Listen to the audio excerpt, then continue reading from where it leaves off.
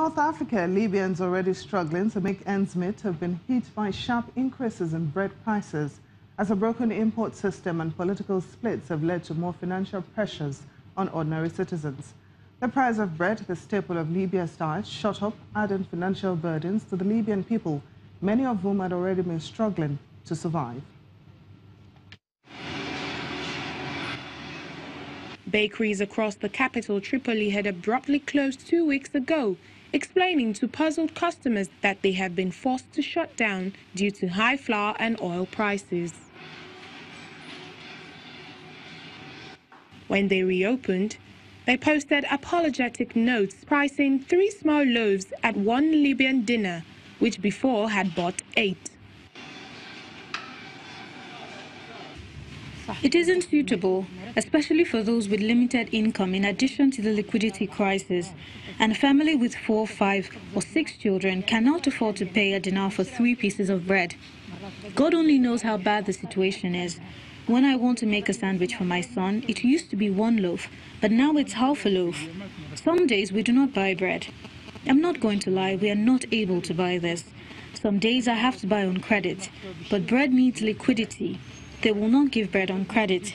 Life has become really difficult in Libya.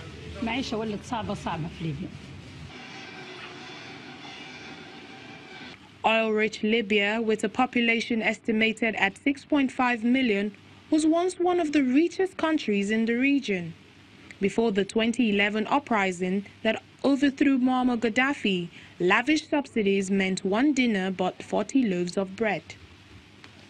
Jamal al-Shabaini, the Tripoli-based head of Libya's state-run price stabilization fund, said only the state could guarantee a fair and stable bread price. But they had not been allocated money for supplying wheat or flour in the past three years.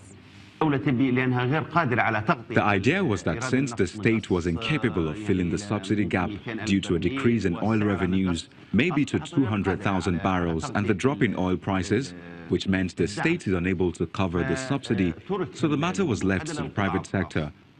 But in the light of the inability of government agencies to monitor or hold the private sector accountable, and in light of the issues we're witnessing with the supply, we finally know the reasons behind the drop in wheat, flour, and in other goods as well.